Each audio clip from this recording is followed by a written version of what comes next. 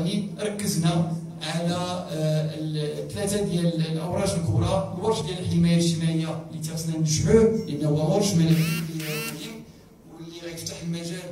22 مليون ديال المغاربة اللي غنقول لهم يستافدوا من الخدمات الصحية في اطار التغطيه الصحية. وهنا تنقولوا حنا ضروري نركزوا على القطاع العمومي باش نطوروه أكثر باش يكون أكثر تنافسية وخصوصا ما هو مرتبط بالمستعجلات. ودار كذلك شراكات مع القطاع الخاص باش نضمنوا أنها تكون خريطة صحية في المستوى العالي باش نتجاوزوا هذا المشكل ديال الإنصاف. وأنا عارف المشكل مطروح اللي مطروح بحده في هذه المنطقة بخصوص هذه الإشكالية ديال الصحة. هنالك كذلك الورش الثاني هو الورش المتعلق بالديمقراطية. واللي بغينا في هذا الإطار أننا اولا نفتحوا حوار وطني مع الأحزاب السياسية باش نحسنوا ونأهلوا بعد العمل السياسي في بلادنا. ولكن من جهة أخرى كذلك أننا نقويوا ونصلحوا القوانين ديال الحريات العامة باش تتماشى مع ما جاء به الدستور ونكرسوا المكتسبات اللي تحققت مجال ديال حقوق الإنسان وحماية حقوق الإنسان وحريه التعبير. وكذلك نقطة اللي هي مهمة جدا وهو نفعلوا حقيقة الجهوية المتقدمة. وننقلوا اختصاصات من الدولة إلى الجهات ونضمنوا كذلك فعاليه أكثر ديال الجهات باش انها تقوم بالدور ديالها والاختصاص ديالها كامله من أجل النهوض بالاقاليم المنخرطه فيها وزياده على هذا الامر ركزنا على واحد البعد اللي هو مهم اللي هو البعد القانوني بغينا ان هذه القوانين اليوم ضروري ان تجيب المراسم التطبيقيه ديالها على أساس باش ان فور تصويت على هذه القوانين انها تطبق على أرض الواقع باش تكون فعاليه في العمل السياسي وفي العمل التشريعي ومن جهة أخرى كذلك أننا نخرجوا بالمنطق أن المغاربة كلهم غشاشة. وندخلوا نديروا قوانين اللي تكون أكثر مقروئيه واللي هي ما تكونش معقدة واللي تنطلق من منطق أن المغاربة والمقاولات المغاربة فهما كلهم فيهم الثقة. حان الوقت اننا نثق نثقوا في المغاربه وفي المواطنات والمواطنين وأخيرا الورش الأخير وهو الورش الهوياتي اللي ركزنا عليه على تحقيق المواطنة الحقة بالعمل على الحفاظ على الهوية الوطنية بكل روافدها الأمازيغية العربية الإفريقية كذلك المتوسطية. ثانيا أننا نجعلوا اننا ننزلوا القانون التنظيمي للأمازيغية اللي جاب بهذا القانون على أن تدخل الأمازيغية في الحياة العامة وفي نفس الوقت العمل على تقوية اللغة العربية والحضور ديالها واخراج أخيرا المعهد ديال اللغة العربية والتقوية ديالها باش تكون ترجمة باش الناس يمكن يواكبوا التطور التكنولوجي اللي كاين والتطور العلمي اللي كاين. وكاين ما هو مرتبط بالطبع بخطه خاصه للنهوض بالثقافة بالنهوض بالرياضة بالنهوض كذلك بالسينما بالنهوض بالمسرح.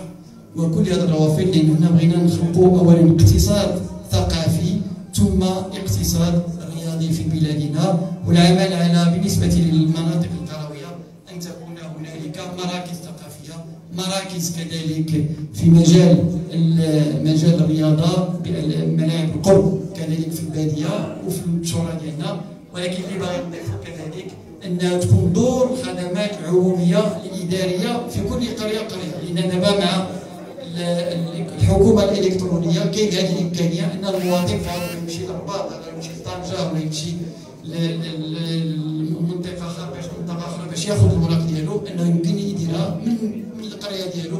وبهذه الكيفية يمكننا نضمنوا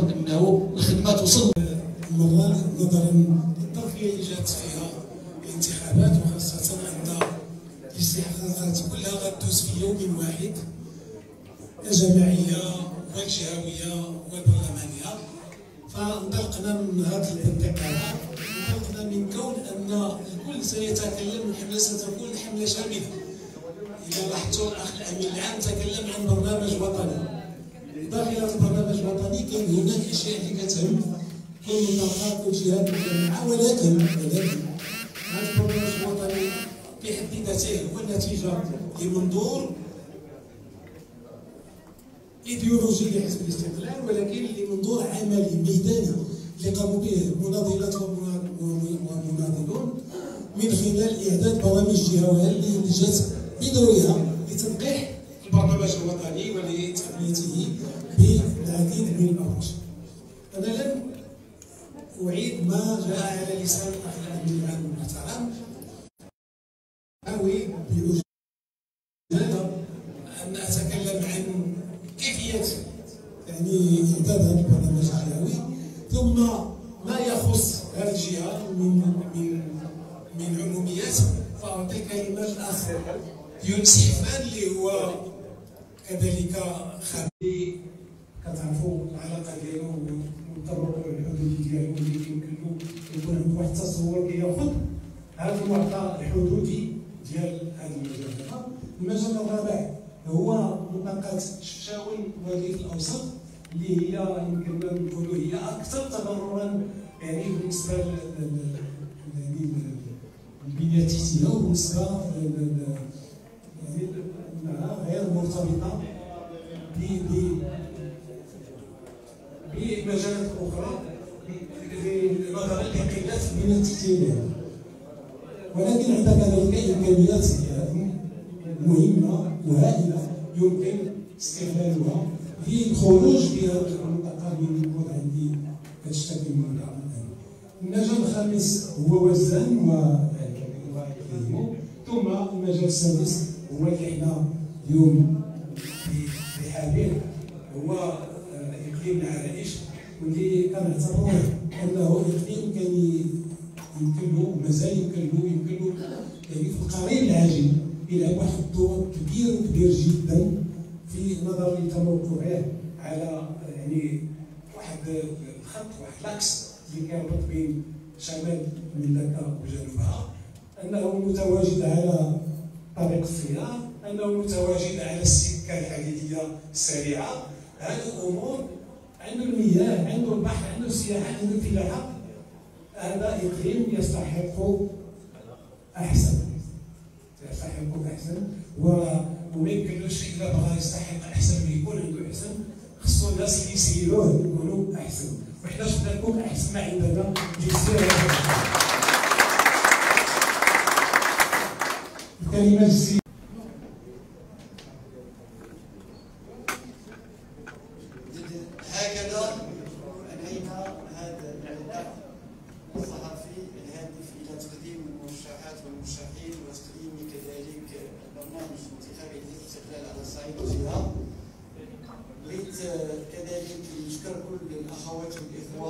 المرشحات والمرشحين حاضرين معنا ليترشحوا على الصعيد المحلي بالنسبة ولا وكذلك على الصعيد الجهوي. نشكركم على الحضور ديالكم معنا وتعزوا الفريق اللي هو من ناحيه استقلال مشى واحد المنطق اللي هو مهم من ناحيه الاستحقاقات المقبلة غنشتغلوا كفريق مرحوم. البرلماني واللي مرشح البرلمان واللي مرشح الجماعات المحلية واللي مرشح الجهة باش أنه كذلك يترشحوا في الغرف المهنية واللي يمشوا باش يعاونونا كذلك باش أننا نوصلوا للنتيجه المرجوه لأن الهدف ديالنا وهو خدمة هذه المقاولين خدمة هذه الجهة وخدمة الوطن الوطن اولا كما دائما كان خدمة الاستقلال وفي نفس الوقت كذلك بغينا نحققوا هذا الهدف. الهدف هو الإنصاف العام. أي كيفاش نجعلوا أن المواطنات والمواطنين يحضروا كذلك بالعنايه الكافيه باش أننا نضمنوا الكرامه ديالهم باش أننا نعطيهم حقهم في الدنيا باش اننا نفتحوا آفاق ديال المستقبل. لأن الهدف ديالنا الناجح الأول اللي بغينا نحققوه وهو الامان استرجاع الامان بالنسبة للمواطنات وبالنسبة للمواطنين. النقطة الثالثة وهو حنا داخلين على الاستحقاقات نطيق واحد وهو احترام الآخر. احترام كل المنافسين والمنافسات. كنتمنى كذلك النجاح في الاستحقاقات وتصرحوا معلوم هذا ديالنا وهو ان الثقة ديال المواطنات والمواطنين. حنا تنعتبروا ان المشروع اللي قدمنا فهو مشروع واقعي مشروع قابل للتنفيذ مشروع اللي يساهم في تحقيق أهداف المواطنات والمواطنين في هذا الإقليم وفي هذه الأقاليم وفي هذه الجهة. ومشروع الذي يهدف حقيقة أننا نحقق هذه القطائع مع الجزئيه وأنهم كذلك يعيشوا في حياة أفضل. وأخيرا باغي ناكد عليه وهو أننا نأخذ هذه الاستحقاقات ونحن واثقين من أنفسنا من قدراتنا من الكفاءات التي تظهر بها يظهر بها في الاستقلال في الروابط المهنيه في كذلك في في المجالس المنتخبه وكذلك في اللجنه المركزية والمجلس الوطني والمناضلات والمناضلين باش أننا نطبقوا هذه الأهداف ونطبقوا هذه السياسة ونجعلوا أن هذا البرنامج الذي قدمناه لكم على الصعيد الوطني وكذلك على الصعيد الجهة أنه يكون واقع بالنسبة للمواطنات والمواطنين لأن هذا هو البرنامج اللي غيحقق الاطلاع الحقيقي هذا هو البرنامج اللي غيحقق الكرامه للمواطنين وهذا برنامج اللي غيجعل يرد اعتبار المواطنات والمواطنين ويحمي المستقبل ديالهم وأخيرا لما غيتاكد وهو اننا سنبقى بالطبع حاضرين بقوه في وسائل التواصل الاجتماعي مع كذلك الاخوه والاخوات الصحفيات والصحفيين الهدف ديالنا هو نوصلوا كذلك وجهه النظر ديالنا نتفاعلوا مع القضايا الراهنه ونعملوا مجاهدين باش هذه المعلومات توصل للمواطنات والمواطنين نحن نعلم بان هذه الاستحقاقات ستمر في جو خاص بالتالي الحمله الانتخابيه ما تكونش عندنا هذيك الحفاوه وهذاك الاتصال المباشر اللي كنا تتمناو نديروه أنتم عارفين حزب الاستقلال حزب اللي هو تدير كيدير لقاءات جماهيريه بالاف ديال المواطنين والمواطنين مع الاسف هذه الإمكانية لن تكون لكي يكون لهم الفرصه للقيام بالرياضة لتكون لهم فرصة للولوج إلى الخدمات الثقافية وكذلك وجدنا واحد البطاقه خاصة للشباب باش يمكن يكون عندهم تخفيضات للولوج إلى مثل هذه الخدمات في النقد أو في المجال الثقافي والرياضي.